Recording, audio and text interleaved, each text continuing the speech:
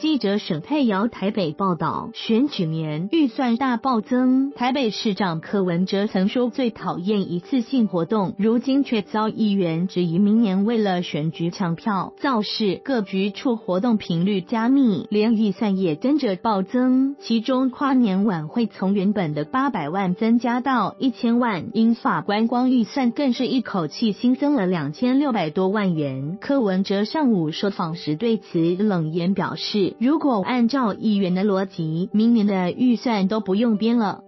市长柯文哲上午出席公平贸易城市受证仪式后受访，被问到议员质疑预算暴增是为了明年选举年造势，柯文哲表示，如果按照议员的逻辑，大概明年什么预算都不用编列了，这不是很奇怪吗？这还是整个市政在推广。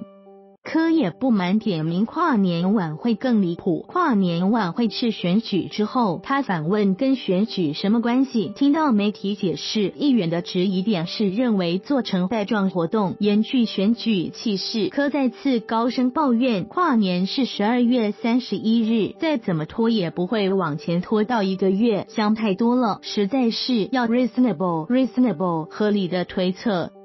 对于议员扬言搁置，柯直言，台北市预算如果说一千六百五十亿多了五百万，你觉得呢？这有时候想太多，他最后说会去争取通过，但就是平常心看待，该怎么做就怎么做。